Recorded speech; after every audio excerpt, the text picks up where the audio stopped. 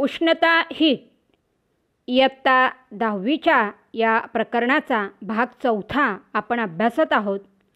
या चौथ्या भागात आपण पाहणार आहोत विशिष्ट उष्माधारकता म्हणजे काय? What is mean by specific heat capacity यासाठी एक कृती अभ्यासू. लोखंड तांबे व शिसे यांचे समान वस्तुमानाचे तीन भरीव गोल उकळत्या पाण्यातून काढून त्यानंतर ते मेणाच्या जाड थरावर ठेवले तर आपले निरीक्षण काय असेल? लोखंडाचा गोळा मेण्यामध्ये जास्त खोलवर गेलेला दिसेल. शिशाचा गोळा मेण्यामध्ये सर्वात कमी खोल गेलेला दिसेल. तर तांब्याचा गोळा दोघांच्या दरम्यान त्या मेण्यामध्ये बुडालेला दिसेल. म्हणजेच उष्णता शोषून घेण्याचा प्रत्येक गोळ्याचा गुणधर्म वेगळा आहे. या गुणधर्माला विशिष्ट उष्माधारकता म्हणतात. This means that the property which determines the amount of heat absorb by a sphere is different for the three spheres this property is called the specific heat capacity यावरून विशिष्ट उष्माधारकतेची व्याख्या. Definition of specific heat capacity एकक वस्तुमानाच्या पदार्थाचे तापमान. एक degree सेल्सिअसने वाढवण्यासाठी लागणारी उष्णता म्हणजे त्या पदार्थाची विशिष्ट उष्माधारकता होय. The amount of heat energy require to raise the temperature of a unit mass of an object by one degree Celsius is called the specific heat of that object it is denoted by letter C पदार्थाची विशिष्ट उष्माधारकता C या चिन्हाने दर्शवली जाते. विशिष्ट उष्माधारकतेचे S I मापन पद्धतीतील एकक आहे. Joule per kilogram degree Celsius. तर सी जी एस मापन मापन पद्धतीतील एकक calorie per gram degree Celsius हे आहे. पदार्थाची विशिष्ट उष्माधारकता स्पेसिफिक हिट कॅपॅसिटी सी पदार्थाचे वस्तुमान मास एम आणि पदार्थाचे तापमान डेल्टा टी डिग्री सेल्सिअसने वाढवल्यास त्या पदार्थाने शोषून घेतलेली उष्णता पुढील सूत्राने मिळते. पदार्थाने शोषून घेतलेली उष्णता heat energy absorb by the object is equal to M into C into delta T M गुणिले सी गुणिले डेल्टा टी इथे डेल्टा टी ही तापमानातील वाढ असणार आहे. तर पदार्थाने गमावलेली उष्णता असेल एम गुणिले सी गुणिले delta T heat energy lost by the object that is Q is equal to M into C into delta T इथे पदार्थ उष्णता गमावतो आहे त्यामुळे डेल्टा टी म्हणजे तापमानातील घट डिक्रीज इन टेम्परेचर असणार आहे. आता आपण उष्णतेची देवाणघेवाण कशी होते ते पाहणार आहोत. उष्ण व थंड वस्तूंमध्ये उष्णतेची देवाणघेवाण झाल्यास उष्ण वस्तूचे तापमान कमी होत जाते व थंड वस्तूचे तापमान वाढत जाते. जोपर्यंत दोन्ही वस्तूंचे तापमान सारखे होत नाही तोपर्यंत तापमानातील हा बदल होत राहतो. या क्रियेत गरम वस्तू उष्णता गमावते तर थंड वस्तू उष्णता ग्रहण करते. Hot object lost heat energy while cold object gain heat energy the change in temperature continues till both the object attain same value यावरून तयार होणारे उष्णता विनिमयाचे तत्व प्रिन्सिपल ऑफ हीट एक्सचेंज उष्ण वस्तूने गमावलेली उष्णता बरोबर थंड वस्तूने ग्रहण केलेली उष्णता. Heat energy lost by the hot object is equal to heat energy gain by the cold object पदार्थाच्या विशिष्ट उष्माधारकतेचे मापन मिश्रण पद्धतीने मिक्सिंग मेथडने करता येते. यासाठी कॅलरी मापी या उपकरणाचा उपयोग केला जातो. या कॅलरी मापीमध्ये आत व बाहेर अशी दोन भांडी असतात. यातील आतील भांडे हे तांब्याचे असते. उष्णता दिलेला स्थायू पदार्थ कॅलरी मापीतील पाण्यात टाकला असता उष्ण स्थायू पदार्थाकडून कॅलरी मापीतील पाणी व कॅलरी मापी यांच्यात उष्णतेची स्थानांतरणाची क्रिया चालू होते. स्थायू पदार्थ पाणी व कॅलरी मापी यांचे तापमान समान होईपर्यंत ही क्रिया चालू राहते. Heat exchange continues till the temperature of the solid object water and the calorimeter becomes equal. यावरून तयार होणारी तीन सूत्रे आपण क्रमाने पाहणार आहोत. यातील पहिला भाग म्हणजे उष्ण स्थायूने गमावलेली उष्णता क्यू बरोबर कॅलरी मापीने ग्रहण केलेली उष्णता अधिक कॅलरी मापीतील पाण्याने ग्रहण केलेली उष्णता. Heat lost by solid object is equal to heat gain by water in calorimeter plus heat gain by the calorimeter यातील पहिले सूत्र पाहून झाल्यानंतर जे मुख्य सूत्र होते त्यातील तीन भाग टप्प्याने पाहणार आहोत. स्थायूने गमावलेली उष्णता म्हणजेच क्यू बरोबर स्थायूचे वस्तुमान एम गुणिले स्थायूची विशिष्ट उष्माधारकता स्पेसिफिक हीट सी तापमानातील घट decrease in temperature that is delta T पाण्याने ग्रहण केलेली उष्णता असणार आहे Q one heat gain by the water that is Q one त्यात पाण्याचे वस्तुमान mass of the water into त्याची विशिष्ट उष्माधारकता स्पेसिफिक हीट इंटू तापमान वाढ इन्क्रीज इन इट्स टेम्परेचर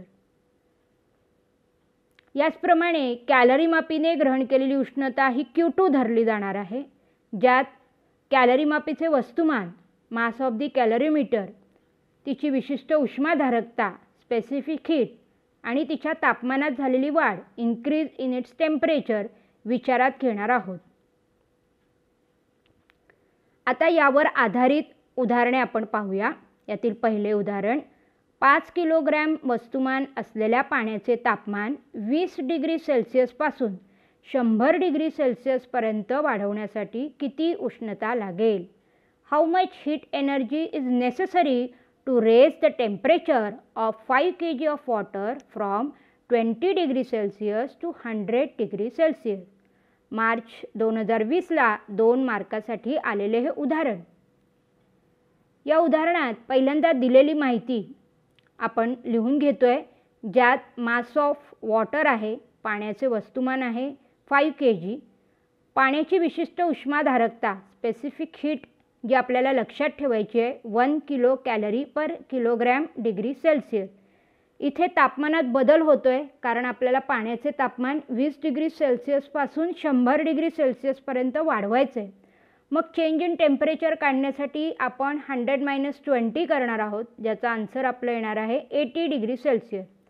द्यावी लागणारी उष्णता energy to be supplied is equal to mass of water पाण्याचे वस्तुमान गुणिले त्याची विशिष्ट उष्माधारकता स्पेसिफिक हीट आणि तापमानातील बदल चेंज इन टेम्परेचर यांचा गुणाकार केल्यानंतर सूत्र जे आहे आपलं ते Q is equal to M into C into delta T पाण्याचे वस्तुमान आहे पाच फाईव्ह गुणिले त्याची विशिष्ट उष्माधारकता स्पेसिफिक हीट आहे वन इंटू गुणिले तापमानात झालेला बदल जो आहे तो आहे eighty eighty into five multiplication केल्यानंतर आपला आन्सर असणार आहे फोर हंड्रेड किलो कॅलरी तापमान वाढवण्यासाठी द्यावी लागणारी उष्णता heat energy necessary to raise the temperature of water that is equal to four hundred kilo calorie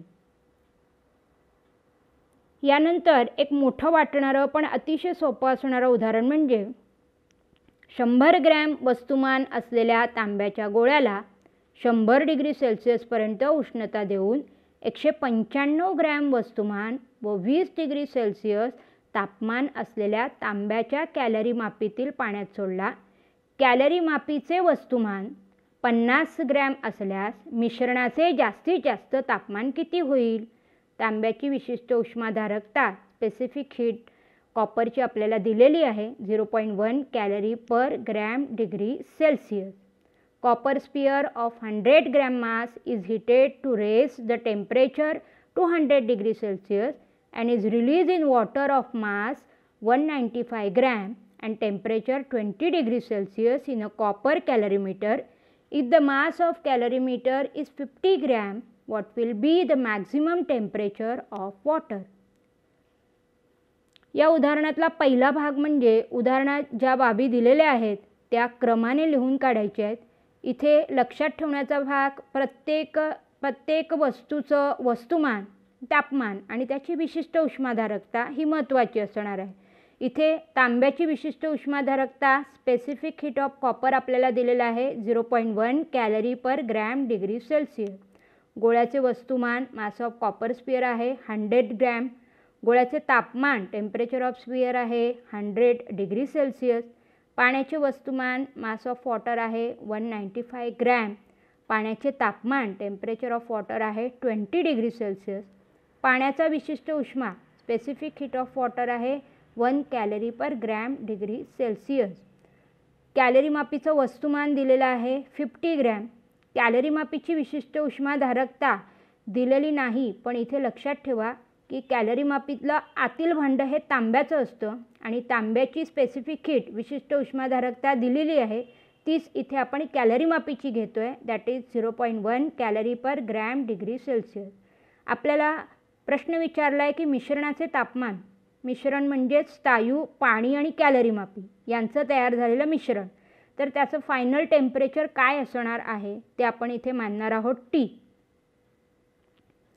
या सगळ्या व्हॅल्यूज आपण या तीन फॉर्म्युलामध्ये ठेवणार आहोत. पहिला फॉर्म्युला पहिलं सूत्र आहे आपलं तांब्याच्या गोळ्याने गमावलेली उष्णता दॅट इज क्यू मग गोळ्याचे तापमान मास ऑफ अ स्पियर ते आहे हंड्रेड गोळ्याची विशिष्ट उष्माधारकता स्पेसिफिक हीट आहे म्हणजेच तांब्याची स्पेसिफिक हीट आहे झिरो पॉईंट वन गुणिले तापमानात घट झाली आहे इथे लक्षात ठेवायचं की स्थायूच्या तापमानातून जे हंड्रेड आहे त्याच्यामधून मिश्रणाचे तापमान टेम्परेचर ऑफ मिक्सचर मायनस करायचं आहे म्हणून हंड्रेड मायनस टी पाण्याला मिळालेली उष्णता आहे क्यू वन पाण्याचं वस्तुमान आहे one ninety five mass of water त्यानंतर मास ऑफ वॉटर लिहिल्यानंतर वन नाईंटी फाय आपण लिहिणार आहोत पाण्याची विशिष्ट उष्माधारकता स्पेसिफिक हीट आहे वन आणि इथे लक्षात ठेवायचं आहे तापमानातील वाढ काढताना मिश्रणाच्या तापमानातून टेम्परेचर ऑफ मिक्सरमधून